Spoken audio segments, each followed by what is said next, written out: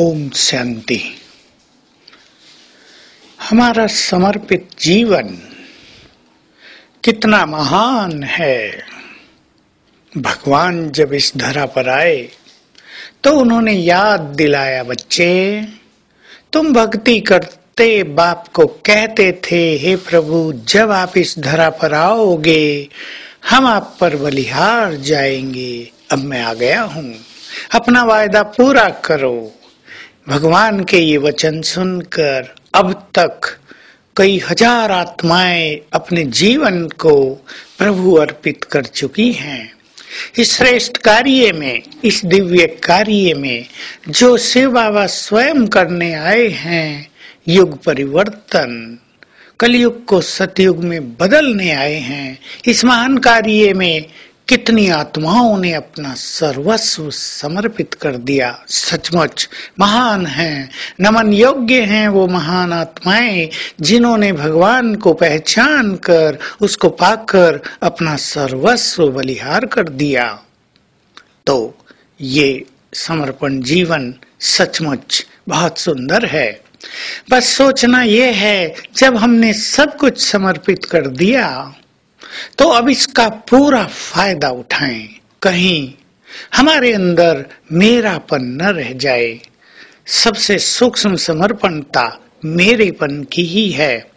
चाहे हमारे पास किसी सेवा केंद्र की ज़िम्मेदारी है, चाहे किसी डिपार्टमेंट को हम संभालते हैं, हमें ये समझना है, हम निमित्त हैं, मेरा कुछ भी नहीं है, ये सब बाबा का है, उसने हमें सौंप दिया है, जैसे श्रीमद् भगवत गीता में कहा है, प्रजापिता ब्रह्मा ने यज्ञ रचकर ब्राह्मणों को कहा, हे वत्सो तुम इस यज्ञ की संभाल करो, इस यज्ञ से देवताओं को प्रसन्न करो और देवताएँ तुम्हें मन इच्छित फल प्रदान करेंगे। तो बाबा ने ये यज्ञ रच कर हम वत्सों के हाथों में सौंप दिया। बच्चे, अब इस यज्ञ को सफल करो।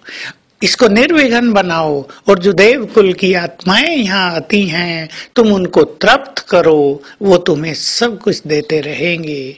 तो ये समर्पित जीवन सचमुच अति प्रशंसनीय है, अनुकरणीय है।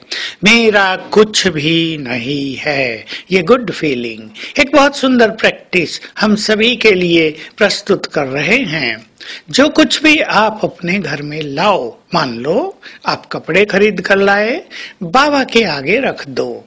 बाबा का कमरा आपके पास होगा, बाबा के आगे रख दो, समर्पित करो। आप अन्न लाए खरीद कर बाबा के आगे रख दो। बाबा, ये तुमको अर्पित है। आपको सैलरी मिली, आप धन लाए, बाबा के आगे रख दो। बाबा, ये आपको समर्पित है। और भी कोई चीज़, भोजन आपने बनाया, उसको बाबा को अर्पित कर दो। बाबा, ये आपको अर्पित है। अब हम आपकी ओर से खाएँगे, आपकी ओर से वस्त्र पहनेंगे, आपके धन से हमारी पालना होगी। तो बाबा आपकी इन भावनाओं के अनुरूप आपका सब कुछ स्वीकार कर लेंगे और फिर अपने अंदर ये गुड फीलिंग बढ़ाते चलना है कि हमारी पालना तो स्वयं भगवान कर रहे हैं। उसी के धन से हमारी पालना हो रही है। उसी के अन्न से हम भोजन खा रहे हैं। उसी के दिए हुए वस्त्र हम पहन रहे हैं। उसी का दिया हुआ घर हम यूज़ कर रहे हैं। ये समर्पण भाव हमें बहुत उच्च स्थिति में ले चलेगा। इससे बहुत सुंदर अनुभूति होंगी। मेरापन समाप्त होता रहेगा और बाबा का ये परिवार बन जाएगा। बाबा अपने परिवार की अपने बच्चों की स्वयं केयर करेगा, उनकी संभाल करेगा। तो आज सारा दिन समर्पण भाव मन में धारण करते हुए हम एक बहुत सुंदर अभ्यास करेंगे और वो है फरिश्ता शुद्ध देवता बनने का। अपने तीन स्वरूप सामने देखेंगे। मैं ब्राह्मण, मेरी एक साइड में मेरा देव स्वरूप खड़ा है। दूसरी साइड में देखेंगे फरिश्ता स्वरूप खड़ा है। मैं आत्मा इस ब्राह्मण तन से निकलकर अपने फरिश्ते स्वरूप में प्रवेश कर लेती हूँ। फील करें, मैं फरिश्ता हूँ। फिर उस देह से निकलकर मैं अपने देव स्वरूप में प्रवेश कर लेती हूँ। फील करें, मैं देवता हूँ। फिर इस देव स्वरूप से निकलकर मैं पुनः ब्राह्मण स्वरूप में आ जाती हूँ। अब मैं प्रभु पालना में हूँ। फिर इस ब्राह्मण देह से निकलकर फरिश्ते की देह में, फरिश्ते से निकलकर देवता की देह में। ये खेल करेंगे, बहुत आनंद आएगा। ऐसा खेल हर घंटे में यदि एक बार भी कर लिया जाए तो सारा दिन मन आनंद से भरपूर रहेगा। ओम शांति।